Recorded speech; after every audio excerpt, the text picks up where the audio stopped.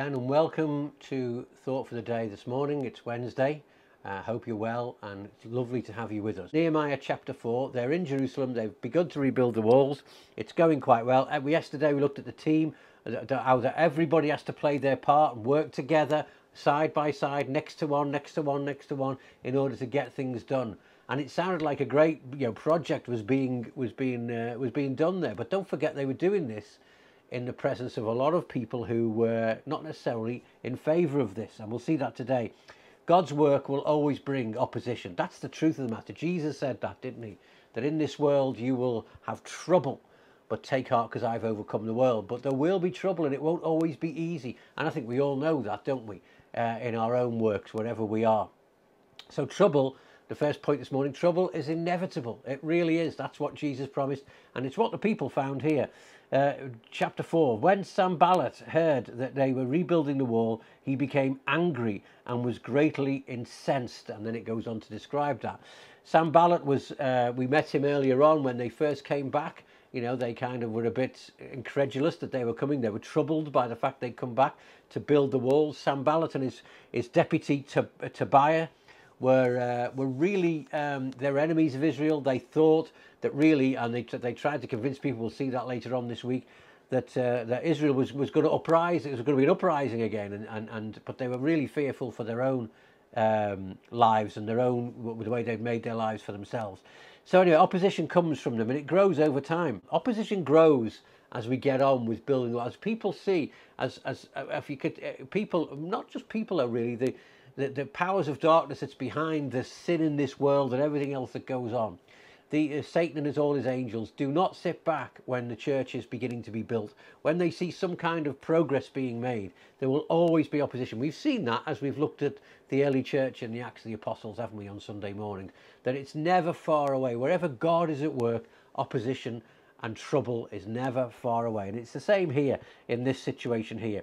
And it looks very threatening mocking and scorn. It's always been there. Uh, you know, people who very powerful people here, it seems, very powerful voices saying, making fun and, and, and ridiculing what these people of God were trying to do. And it's always been the same, and it is this today as well, isn't it? Really, the the the, the um, the thinking of the world, uh, you know, it isn't the same as what the biblical as biblical thinking would be. And so Christians are often very much marginalised in our society today, and sometimes vehemently opposed, and quite, and in other many parts of the world, violently opposed, and in fear for their lives. The most persecuted faith on earth are the Christians today. And so we are part of that, aren't we? And we this is again fulfilling what Jesus said. There will always be trouble. If they hated me, they're going to hate you. And so wherever God is at work, we will see this, won't we? Uh, but the, the important thing here, verses 4 to 9, Prayer is absolutely crucial. Some of these lessons that Nehemiah has learned before he's even got here, he's now going to have to put into practice and also share with the people who are helping him at this time. Prayer is crucial. Um, verse 4 Hear us, O God, for we are despised. We could all say that, couldn't we? People carried on doing it, carried on building despite the opposition. They were encouraged enough to do that at, at this point, although it was tough going, as we'll see in a second. And uh, but but the prayer was interesting, wasn't it? Lord, hear us. They turn to prayer when opposition comes. The first thing we need to do, trouble arrives, is turn it to prayer. Come before the Lord in prayer, and uh, and bring it to Him, and and trust Him with it. Lay out, lay it out before Him. You, you don't tell God what to do. They just said, "Hear the threats, and Lord, turn it back on them. Let them be in trouble as a result of that." Um, and so it, it, he got angry. In a sense, there's a sense of anger in that. How dare they get angry with us for doing this?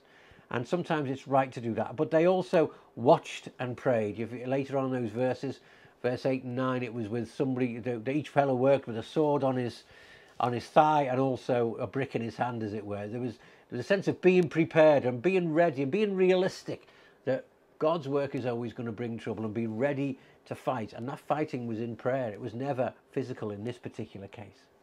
Uh, but, but, but despite all of that, despite the fact that they managed to build a wall to half its height, there was still discouragement. Uh, and it's understandable in here, disappointment. Verse 10 onwards, we see their life gets tough. Meanwhile, the people in Judah said, The strength of the labourers is giving out, and there is so much rubble that we cannot rebuild the wall. And all of a sudden, things start to get really tough for them um, and really, really difficult. There's too much rubble in the way. The people had had enough. Uh, and so when, when that's the case and when we do get tired, when we feel that we're struggling, when we feel that things are tough, it's good to step back. And, and we find that often in Nehemiah's story that he, because he's so convinced in that God is a great big God, as we saw at the start, and he's convinced of the word of God, and he's a man of prayer. He's not afraid to just step back a little bit and say, Well, what's causing this? Is there any trouble that we're bringing on ourselves? Is there something that we could do differently? Because it's right to do that. But also identifying the spiritual, if you like, source of the trouble as well. And so he does this. He, he, they, they, they step back and they realise what's going on. Working conditions aren't great. There's far too much rubble in the way. Now, that's kind of metaphor for all kinds of things. Often, as churches grow, there's too much rubble in the way. There's too much hindrances. There's too much stuff, and, and the rubble of tradition, the rub, rubble of sinful practice, the rubble of, of personality, the rubble of all kinds of things. And these things need to be shifted out of the way so that God can build his church. It's inevitable that we're going to come across rubble as we seek to see God's church grow and we need to be we need to be aware of that and we need to be ready to move it out of the way because it can wear wear us down and stop the building if that's the problem and people getting exhausted daunted by the task. And there is the fear as well because of the fact that there is so much opposition. Eventually sometimes it does wear us down. What's the point of all of this? We're not seeing much fruit. We've been building all this time. We've worked our hands to the bone and we're only halfway there you know and the doors are still not on. And you know it's a real metaphor for a lot of christian work isn't it? And as we meet as this coronavirus works its way through and eventually we come out of the other side and we begin our rebuilding yes it will be exciting to start again but there will be times like this of discouragement here. So what does what does Nehemiah do? The practical solutions that we read here are wonderful. Verse 13, do what you can first of all. Therefore I stationed some of the people behind the lowest parts of the wall at the exposed places, yeah, putting um, posting them by families with their swords, spears, and bows. In other words, realizing there's an issue and keep and watch on the weakest parts of everything. And, and as a church, as we need to do that, we need to look after one another. Part of our teamwork might not just be building, it might not just be doing stuff and ministry, but it is the, the important thing of looking after what we're building as well, people and the issues that are there in the church, God's place. Don't neglect the house of God. We'll see that again as we go through this. And again, this taking a step back is here. As I looked things over, Nehemiah says, I stood up and said to the nobles, the officials, and the rest of the people, Don't be afraid of them. Remember the Lord who is great and awesome. Remember, this is what he's learned. And he's passing that on to people. Look, I know God is good enough and big enough. Remember who you are. Remember whose you are. Remember the Lord who is great and awesome and fight for your families, your sons and your daughters, your wives and your homes. Now, they didn't have to physically really fight, but it was being ready to do that. Step back and remind ourselves of just how big our God is. Remind ourselves of it, that this is His work and He has promised to build His church and the gates of hell will not prevail against it. What wonderful promises we have in His word, don't we? So, Nehemiah he's, he's put into practice what he knows. I know there's a great big God there behind all of this. I know there's a big picture unfolding here, and I'm part of that. God has chosen me. I know his word, and I'll trust his word more than anything else. And we'll pray and we'll seek God, and he will be with us. And we'll do the practical things that are necessary. We'll post people at the weakest points. We'll, we'll, we'll work with a, a sword or on our thigh as well as a trowel, and we'll make sure that we build according to God's plans, don't we? Um, and so they always keep watch on each other. From that day on, half my men did the work, while the other half were equipped with spears, shields, bows, and armour, watching out for one another. The prayer, often the people who aren't building are the prayers, and, and this, this picture of the people with the swords and the bows and what have you, maybe they're the prayers behind the scenes. And, and they're, they're serious. It's a proper job in building God's churches, praying this thing through. Real picture here of how God builds and uses his people to do that uh, in the practicalities of building these walls here.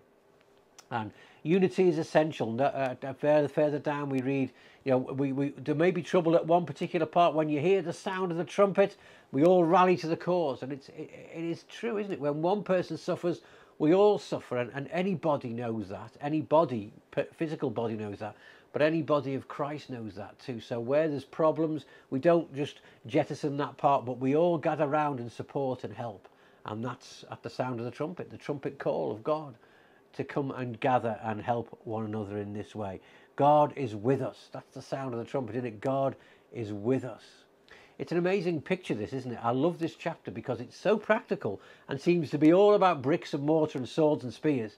And yet there's so much application for us as we seek to build according to God's plans for us as we go forward. Prayer, stepping back and praying and, and reminding ourselves of how big our God is and what the task is that it's not ours but it's His. What an amazing thing. We need to do that, don't we? Regularly remind ourselves of whose work this is and, and the fact that God, God's will will be done and His kingdom will come on earth as it is in heaven. And He is bringing history towards His conclusion. And so we're part of that. And the building we are doing is part of that. And so we get on with our bit of the wall, as it were, as we as we go along with this, don't we? But we pray and we do that sensibly, and we watch out for the weakest, and we gather around them when they're struggling. What a great picture uh, it is, really, of God's church, God's people being in action. Wherever you are, in your church, in your fellowship, us at Trinity, you know, we need to make sure we put this into practice, don't we? And we need to do it now, and we are doing with people who are sick at the moment, people sick in hospital. We pray for them, we get alongside them, and we help as much as we can, and we build this togetherness as we uh, as we work together as a family of God to rebuild what God has uh, has called us to do. And so the conclusion: Are we facing opposition? Are we facing difficulties? Yes, we are. We always will. Are discouragements coming as a result of that? They always will. So, how do we respond? We keep praying. We take a step back and remember who it is we're serving. We are united with each other, supporting one another, helping one another, rallying to the call, clarifying our vision, always keeping the main thing the main thing. We're here because of the gospel. We're here because Christ has died and wants to bring people into his kingdom. And so the rebuilding is all about that, us helping, um, uh, helping doing our part in that so that God's word would be strong in Rainhill or whatever it is that you are this morning. God is bigger. Let's just remember that. Bigger than whatever opposition we may face. Well, let's pray this morning, shall we? Heavenly Father, we thank you for your word to us and the encouragement that it is. Help us, Lord, to trust you, to put everything into your hands, and to get involved, Lord, do our bit, as it were, uh, to pray and to plan and to do the things that we need to do, and to trust you, to take a step back when we need to, to assess the situation and remind ourselves that this is your work and it's you uh, and we're on the victory side and one day you will accomplish all your purposes. And we praise you and thank you lord for that. In jesus name amen